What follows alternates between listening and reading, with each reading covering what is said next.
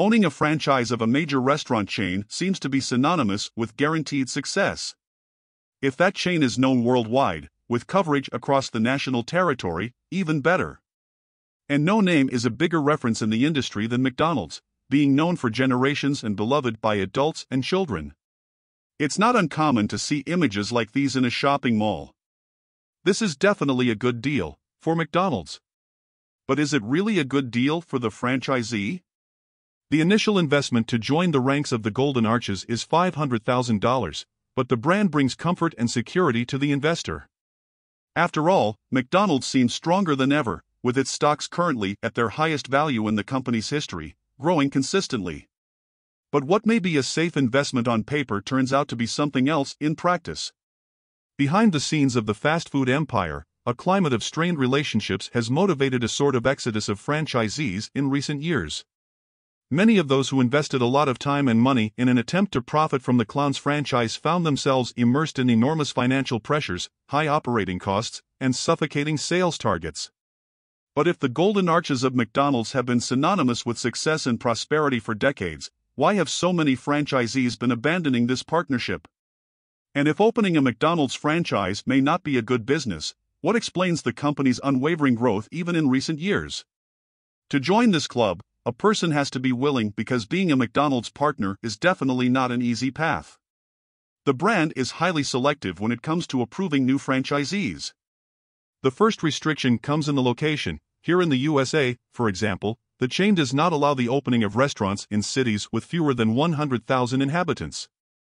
With this in mind, aspiring franchisees need to demonstrate interest in the franchise by contacting the company directly. The first step is to submit your resume showing management skills and also answer a questionnaire, all prerequisites to securing a face to face interview with a representative, which will be followed by a financial analysis of the candidate. If approved through these stages, the potential franchisee will still have to personally oversee the operation of McDonald's restaurants and undergo a final profile analysis. If you survive all of this, the franchisee enters the training phase, where there will be a nine month immersion to learn everything possible about managing a McDonald's restaurant. This very strict selection process also comes with an extra layer of exclusivity, the initial investment to open a McDonald's franchise ranges from $500,000 to $1 million, an amount that may discourage many aspiring franchisees. Furthermore, once the franchise proposal is accepted, McDonald's actively participates in every decision of the franchise, from choosing the exact location of the new restaurant to preparing the new business and marketing strategies. Once the new franchise is opened, the franchisee starts paying monthly fees, such as the royalty fee, which costs 4% of the monthly unit turnover, and the advertising fee, which also costs 4% or more, in addition to bearing expenses related to the brand strategies, renovation costs, and equipment. One of the many obligations for someone becoming a franchisee is that this person must have a very hands on management of the unit, and with this policy, the expectation is to ensure the quality of services and products that are supposed to exist. Thus, the owner assumes more of a role as a gourmet manager than a proper owner. With regular inspections, franchisees usually receive constant visits and inspections in the restaurants, all to ensure that the brand's expectations and requirements are always met, and that every Big Mac is the same, even if it's never quite the same as in the advertising. Despite so many impositions, 93% of the 38,000 McDonald's locations worldwide are operated by franchisees. According to Joe Erlinger, president of McDonald's USA, Franchisees are the main ingredient in the success of the brand. But it's not just about impositions and bureaucracy for a franchisee. A positive aspect is that they have direct access to a wide range of marketing and management strategies, to the brand's experience and know how, and they also have the right to consultations with experts from various areas of the company. All of this to ensure the maximum performance of McDonald's restaurants. And, of course, the most important point of all is being able to use the McDonald's brand, which is already recognized and beloved by the public. But for many franchisees, the fast food chain has been adopting increasingly abusive practices. Recently, McDonald's implemented a complete rebranding of the brand's look and demanded renovations in the restaurants to align with the new visual identity, in addition to requiring the adoption of new machines, such as self service kiosks. One of the main problems with this type of requirement is that the chain basically does not provide financial support for these changes, which end up being quite expensive for the franchisee.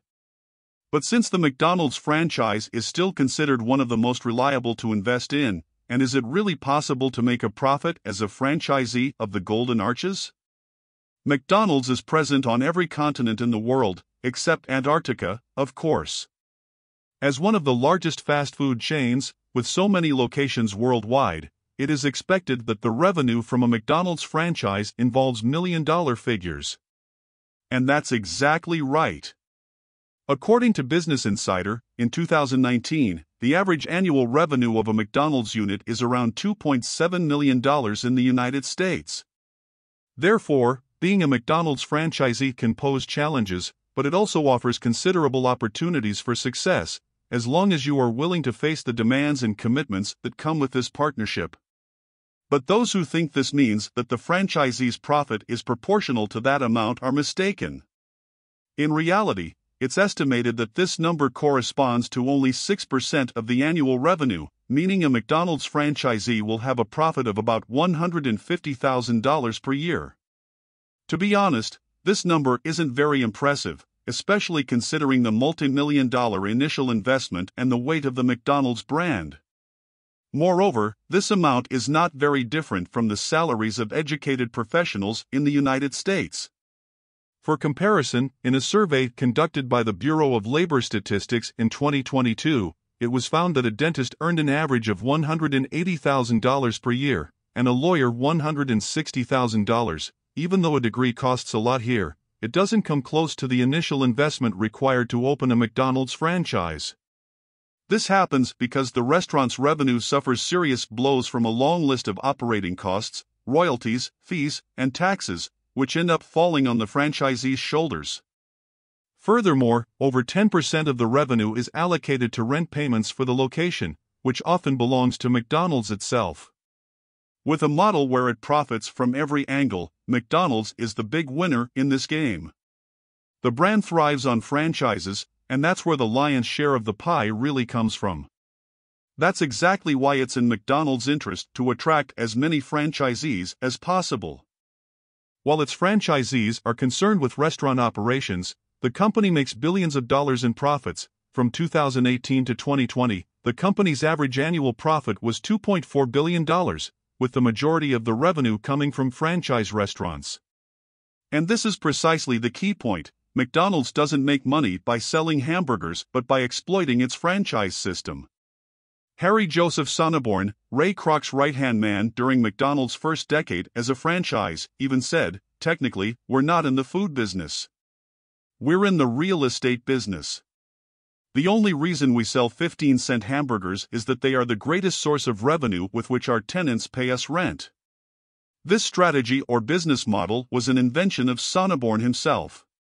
In the early 1960s, when Ray Kroc bought the company from the true founders, the McDonald brothers, Harry Sonneborn had an idea to maximize the company's profits, to buy the land where franchisees could operate. Still used by McDonald's to this day, this strategy makes the company not only the franchisor but also the tenant of the lots where the restaurants are opened, with the tenants being the franchisees themselves. This works very well for the brand since acting as a real estate service for franchises is much more profitable than operating its own restaurants. The proof of this is that the company manages to retain over 80% of the revenue from franchisees, while in units operated by the giant itself, this percentage hovers around only 15%. While McDonald's simply observes and waits for the money to come in, many franchisees aren't very satisfied with this kind of one sided partnership. The question is are the franchisees playing the role of the real clowns in the midst of this story? In recent years, the relationship between franchisees and the company has not been the same. After so much time and money invested to have the right to operate a McDonald's unit, the frustration of franchisees in the face of the apparent indifference of the brand to its partners was inevitable.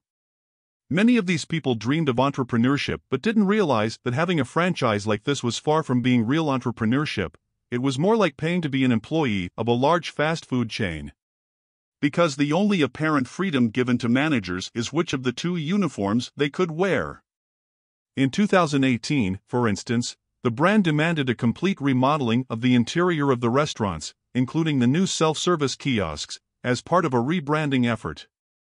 It's no secret that renovations are expensive, so imagine the franchisees' reaction when they found out they would need to replace all the furniture and the interior of their units. McDonald's offered to cover 55% of the renovation costs, it's true, but even so, restaurant owners continued to be less than thrilled about it.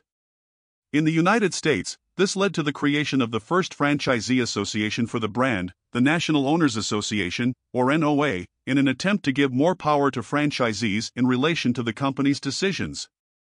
At the end of 2020, when McDonald's decided to impose a new fee on its already saturated franchisees, the association took action, and franchisees decided to take legal action against the network. But discontent with the McDonald's franchise system has also led to another effect franchisees giving up.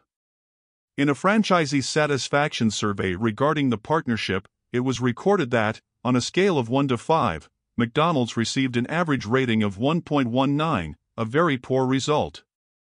As a result, Many franchisees are simply selling their locations at record numbers. In 2021, more than 1,700 restaurants in the network were sold in the United States, or about 13% of the stores there. Burger King, one of its major competitors, had a percentage of franchises sold of only 6%. This scenario highlights the complexities and challenges faced by McDonald's franchisees, despite the appeal of the globally recognized brand. Striking a balance between the demands of the franchise and the profit expectations of franchisees is an ongoing challenge and, as we can see, has generated controversies and significant changes in the dynamics between the parent company and its business partners. In the past two years, more than 1,400 McDonald's stores had already changed ownership, in addition to the 450 stores that closed, resulting in nearly 30% of stores being sold or closed in just three years. Even though he was satisfied with what he had earned during his life, Michael Anton sold his franchise after 32 years. In an interview, he said, I wasn't completely comfortable with the company's direction and I was exhausted and didn't like what was happening. It was a completely different business than it had been. According to some franchisees, the reasons for this involved changes in McDonald's own business, imposing abusive decisions and fees, and some unpopular policies among franchisees, such as the adoption of surprise inspections in stores. Furthermore, there are arguments that claim that the profitability of McDonald's franchises is not exactly the best option in the market today, as the actual profits for a franchisee are low in relation to the initial investment proportion. Estimates indicate that it can take six to nine years for a franchisee to recover the initial investment. At this point, it's important to remember that managing a franchise of the brand requires constant work from the franchisee. In other words, it can take up to nine years of hard work, obeying the company's orders, just to recover the multi million dollar initial investment. Therefore, any aspiring franchisee needs to carefully analyze the numbers and possibilities. After all, with the initial investment amount, is it not possible to look for an equally profitable investment without having to work or swallow orders from a company in the process? Finally, if the foundation of McDonald's business model is precisely the franchise model, and the relationships between the company and the franchisees are strained, why does McDonald's still perform so well in the financial market? The answer is simple the enormous profits achieved by the brand, even at the expense of franchisees, make McDonald's shares a very attractive option. After all, who wouldn't want to invest in a company that constantly earns billions? So, for investors, McDonald's can be an extremely lucrative opportunity. The question is can the same be said for franchisees?